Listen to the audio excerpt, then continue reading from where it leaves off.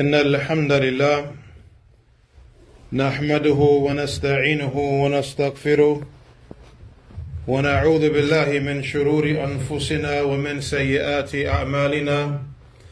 من يهده الله فلا مضل له ومن يضلل فلا هادي له. وأشهد أن لا إله إلا الله وحده لا شريك له. وأشهد أن محمدا عبده ورسوله صلى الله عليه وسلم.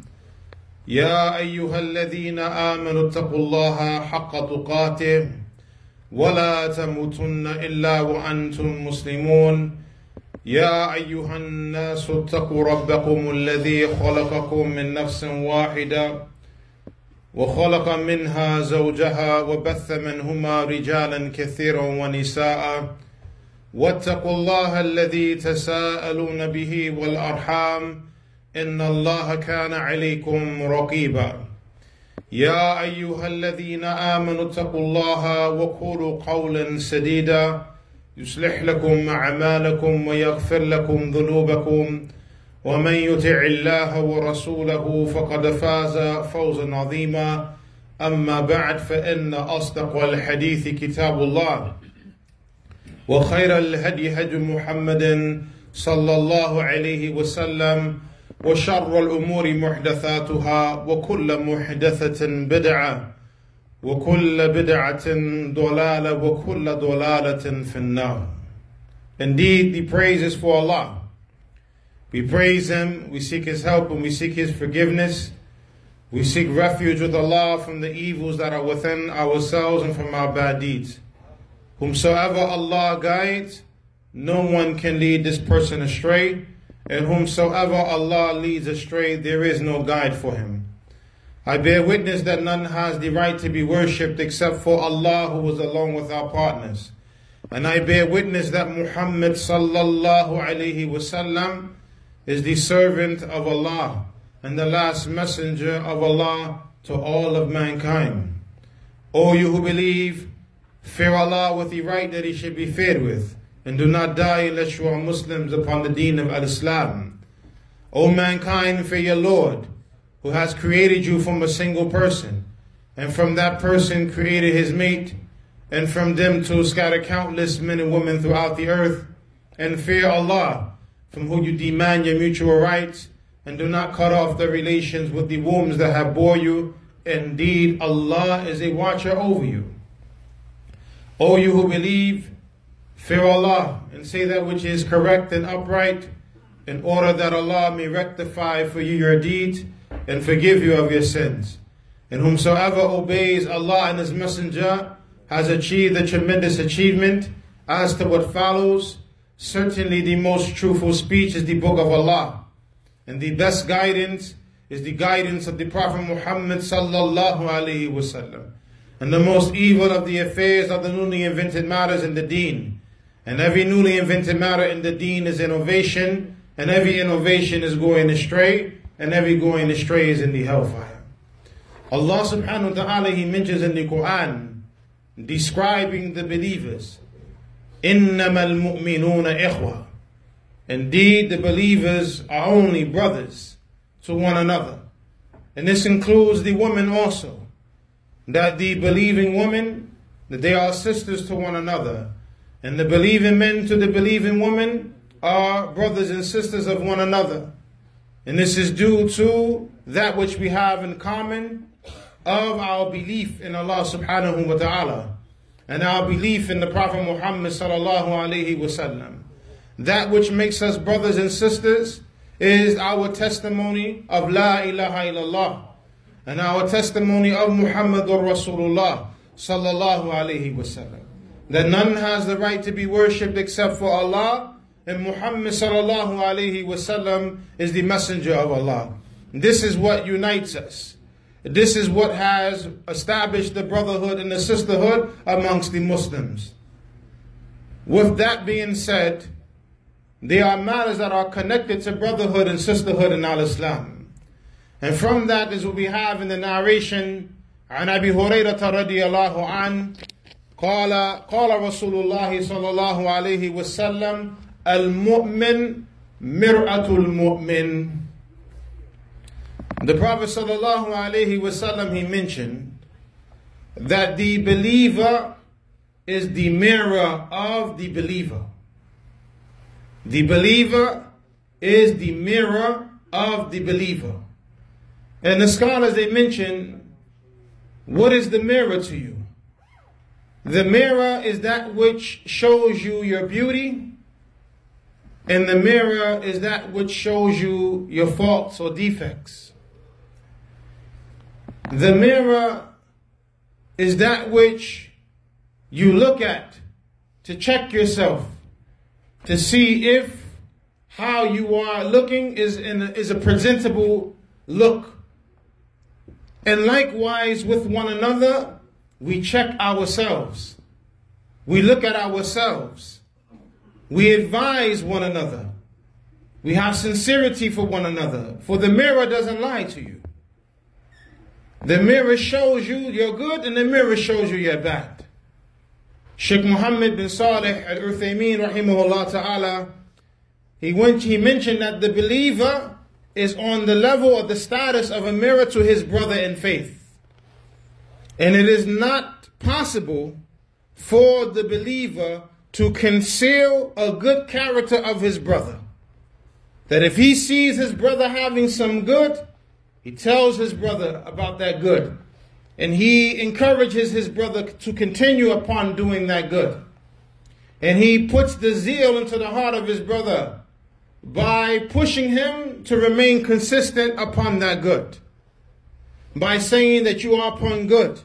And that for you is a reward from Allah subhanahu wa ta'ala. And Allah subhanahu wa ta'ala, He is pleased with what you're doing, and other than that, from the good words. This is how a believer is a believe is a mirror to a believer. When the believer sees the good in his brother or sister, he encourages him or her with continuing upon the good, making dua for one's brother or sister in Al Islam. And if the believer sees something wrong or something evil in his brother or sister, then he clarifies the matter to him. He clarifies the matter to him in the best way with gentleness and kindness, with wisdom, because you want good for your brother and your sister in Al Islam. If you see something about your brother that's not befitting, you don't leave your brother to continue on with that behavior or with that fault. Just as if you was to look in your brother's face and you see that he has something on the side of his mouth of food or other than that, you would say to your brother, Akhi, wipe your mouth. A sister would say to her sister, Sister, wipe your mouth. Or if the sister sees her sister with a portion of her hair sticking out of her hijab, she's going to say to her sister, Fix your hijab, fix your khimar, fix your headscarf. Your hair is showing. She's not going to leave her to continue on with a portion of her hair showing when Allah subhanahu wa ta'ala has commanded the woman to cover their bodies. This is how a believer is to another believer, like the mirror. So when a person sees something evil or something wrong in his brother or sister, then be straightforward in the sense meaning you tell them, but use the best manner in conveying that message to them. And warn your brother or sister against disobeying Allah subhanahu wa ta'ala. Warn them against falling into the traps of the shaitan. And again, with gentleness. As the Prophet sallallahu alaihi wasallam mentioned, إِنَّ اللَّهَ رَفِيقٌ وَيُحِبُّ الرِّفْقِ في كل شيء كما قال صلى الله عليه وسلم. Indeed, Allah is gentle. And He loves gentleness in all things. And this is the origin of how we deal with one another. Gentleness. We correct one another with gentleness. Shaykh Uthaymeen rahimahullah ta'ala, he mentioned هذا هو الناصح This is the one who is sincere. This is the one who is giving you advice. وهذا هو الأخ And this is the one who is truly a brother to you. This is the one who is truly a sister to you. The one that when you have good with you, they mention to you your good. They make dua for you about your good. They encourage you to continue to do good. They push you to do more good. This is truly the one who is sincere and loves you for the sake of Allah. This is truly a brother to you or a sister to you. But as for the one who conceals your faults and he only mentions to you your good, this person may even lie to you and exaggerate the good that you have with you. We don't need people around us to be yes men and yes women. We need people around us who are going to be sincere. Pull our coat when our coats need to be pulled. But some individuals, they like that they have a group of yes men or yes women around them. A group of bootlickers and butt kissers, brown noses. This is not from the deen of Islam. You just constantly tell the person, yeah, you're doing good. The person doesn't make no mistakes. The person doesn't have any faults. And this doesn't mean that you attack your brother or sister when you see a fault, but you have to say something. How can you be considered a true friend, a sincere friend, a sincere brother or sister when you see your brother and sister doing wrong and you say nothing? You continue to remain silent, letting them continue upon that path of destruction. Where is the sincerity? Where is the brotherhood? Where is the sisterhood? When we look at the Prophet Muhammad sallallahu alaihi wasallam, he corrected the most beloved of the people to him. The Prophet Muhammad wasallam did not discriminate. We all know the famous statement. If my daughter Fatima would have stolen, I would have cut her hand off. Because the Prophet wasallam does not discriminate when it comes to enjoining the good and forbidding the evil. So even if it was his own family, he would have taken action. The Prophet wasallam corrected Aisha radiyallahu anha when he came into the home and she had a curtain there with images on there. The Prophet wasallam stood at the door and he did not enter into the home. And she seen the displeasure on his face. And then the Prophet wasallam he cut up the curtains to disfigure the images. The Prophet Muhammad sallallahu alaihi wasallam, he corrected Aisha radiallahu anha that night when she followed him to the graveyard. And she thought that he was possibly going to the house of another wife. The Prophet sallallahu alaihi wasallam corrected Aisha when his other wife sent some food to his house and Aisha slapped the plate out of the individual's hand who was bringing the food. And the Prophet sallallahu alaihi wasallam gathered up a food and then commanded that one of her vessels is taken and given to the other wife whose vessel was broken. And who is Aisha radiallahu anha? Ahabbun nas ila nabiyyina Muhammad sallallahu alaihi wasallam. The most beloved of the people to our Prophet sallallahu alaihi wasallam. When he was asked, Ya Rasulullah, man ahabbun nas ilayk? Qala Aisha. O Messenger of Allah, who's the most beloved of the people to you? He said, Who? Aisha. But that did not stop him from correcting her when she made a mistake. That did not stop him from advising her when she needed advice. But some of us, because of this so called love we have for people, we don't correct them, we don't advise them. That's not true love. True love is the example of the Prophet Muhammad sallallahu alaihi wasallam with his beloved wife Aisha radiallahu anha. أقول قولي هذا أستغفر الله لي ولكم.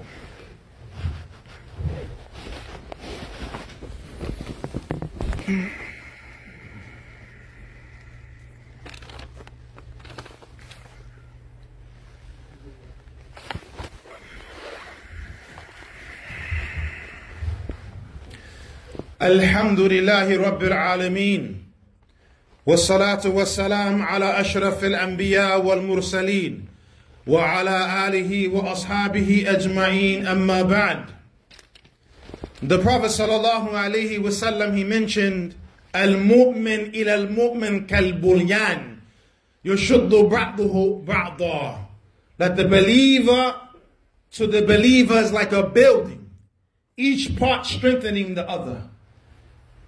Each part supporting the other. This is the relationship that we're supposed to have with one another. That we strengthen one another. We fortify one another. We better and improve one another. Never should be the case that we are causing harm to one another by being silent about the mistakes that we have amongst one another. About the mistakes that we have in our lives, and we are aware, and we say nothing to one another about our mistakes. This is not from Iman. This is not from Islam.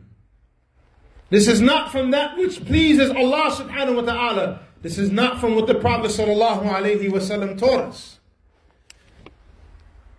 Some Muslims, unfortunately, along with being silent about the mistakes of their brothers, they hide the good of their brothers. And when the mistake happens, they don't say nothing to the brother, but they spread it amongst the people. What an evil individual this is. Your brother makes a mistake. You have the ability to contact your brother and advise him. But you don't do that. Rather, you go amongst the people spreading the mistake. But when the brother does something good, you don't spread that. Listen to the words of the Prophet sallallahu alaihi wasallam. Abu Huraira he mentioned, "Kana min du'a'i Rasulillah sallallahu alaihi wasallam, Allahumma inni a'udhu bika min jaris su' Abu Huraira radiallahu anh, he mentioned, from the supplication of the Messenger of Allah, sallallahu alayhi wasallam, he used to say, O Allah, I seek refuge with you from the evil neighbor. And we know about the evil neighbors. Either from direct experience or from secondhand knowledge. We know some of us have evil neighbors here in Lefrak. Unfortunately, they smoke in their homes. The smell of the smoke comes in our homes. On the balconies, they throw cigarettes. It's coming down on your balcony. Other than that, we know about the evil neighbors. So the Prophet ﷺ used to seek refuge with Allah from the evil neighbor because the evil neighbor can make life miserable. The evil neighbor makes you want to move and relocate. Then he would say, وَمِن زَوْجٍ تُشَيِّبُنِي قَبَلَ الْمَشِيبِ And I seek refuge with you from a wife that caused me to have gray hair before the time of having gray hair. Subhanallah wa bihamdi. That's heavy. The Prophet sought refuge with Allah from a wife that caused him to have gray hair before the time of having gray hair. What is she doing to this man? Stressing him out, constantly complaining, never satisfied. He can do no good. Or as the Prophet mentioned, some of the women there, they say when they see one thing that a man has done wrong, مَا رَأَيْتُ مِنْكَ خَيْرًا قَطْ I've never seen no good from you. After the man has done good to her for a long period of time. But also, barakallah fikum, don't think that this is restricted to the woman stressing the men out. Some of these brothers are stressing the sisters out and causing them to have gray hair before the time. And then when they complain about the gray hair, stop stressing a sister out. Stop being a narcissist. Stop the gaslighting. Stop the emotional oppression. And definitely stop the physical oppression. Men and women, Allah subhanahu wa ta'ala created them for one another so that there's mawadda and rahmah between them. That there's love and mercy between them. That's the origin between a husband and wife. Allah has made it this way and decreed it to be this way. But when we look at some of the marriages, all we see is stress, turmoil, chaos, fitna. The Prophet ﷺ used to seek refuge with Allah from this. Then he mentioned, وَمِنْ وَلَدٍ يَكُونَ عَلَيَّ رَبَّهِ And from a child that is a Lord over me. The Prophet ﷺ sought refuge with Allah from the child becoming his master. And we see this in this day and time. The children are disrespectful. The children talk back to the parents. We even find children raising their hands to their parents.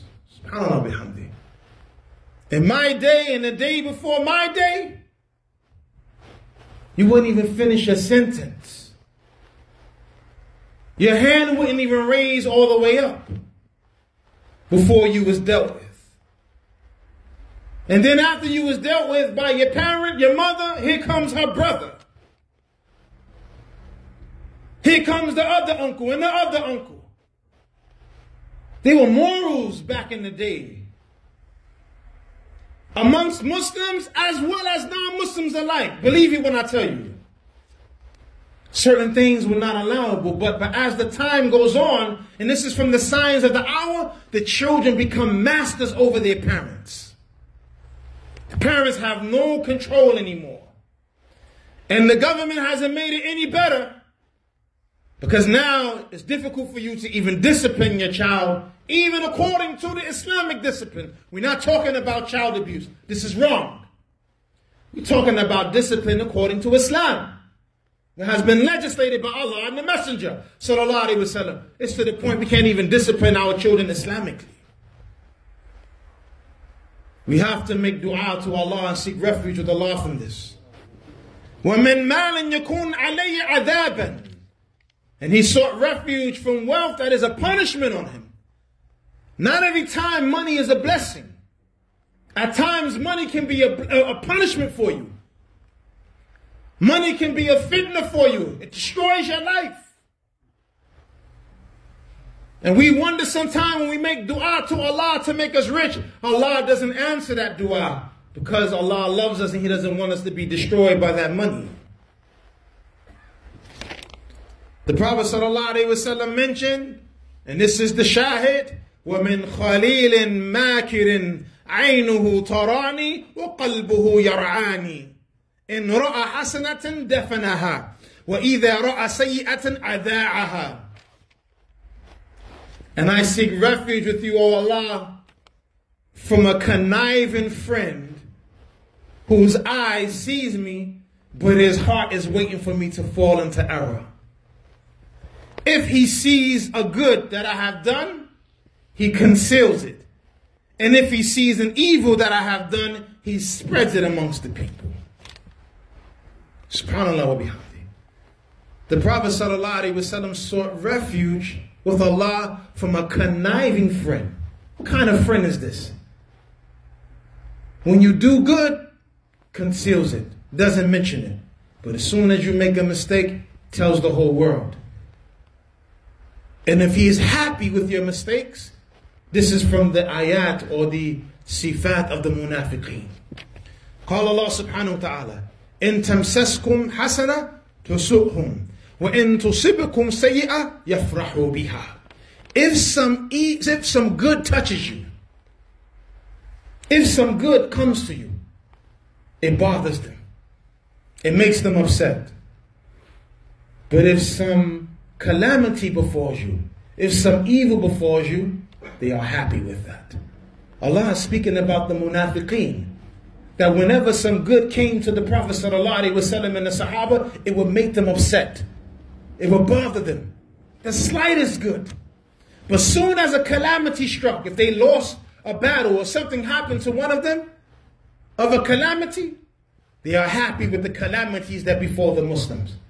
If you are happy with evil befalling your brother and sister. But sad when good happens to them, know that you have one of the characteristics of the munafiqeen.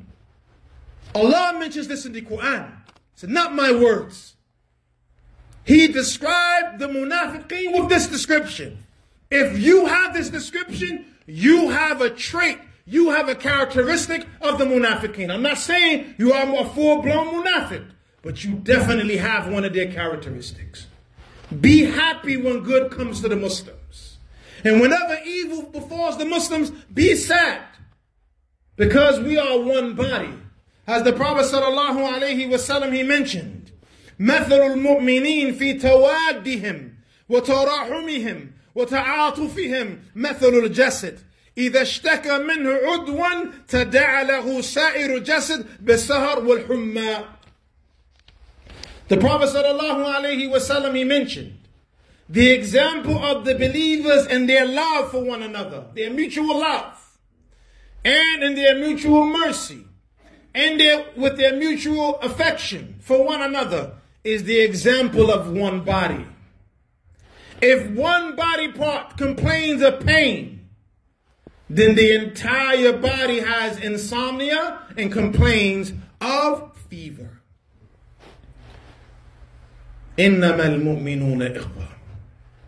Indeed, the believers are nothing but brothers and sisters to one another. If something is happening to one of our brothers or sisters, whether we know them or not, we should feel that pain. We should feel that sorrow. We should make dua for them. Never should it be the case that we see Muslims going through things and we are happy that they are facing calamities. This is how the munafiqeen behave towards the believers. We ask Allah subhanahu wa ta'ala to make us mirrors for one another, encouraging with the good, warning against the evil. We ask Allah subhanahu wa ta'ala to make us sincere in our dealings with one another. We ask Allah subhanahu wa ta'ala to make us from amongst those who hear a good word and follow it. We seek refuge with Allah subhanahu wa ta'ala from the evils that the Prophet sallallahu alaihi wasallam sought refuge from. We ask Allah subhanahu wa ta'ala to truly make us like one body, supporting one another. أقول قولي هذا أستغفر الله لي ولكم وسبحانك اللهم وبحمدك أشهد أن لا إله إلا أنت أستغفرك وأتوب إليك. أكمل الصلاة.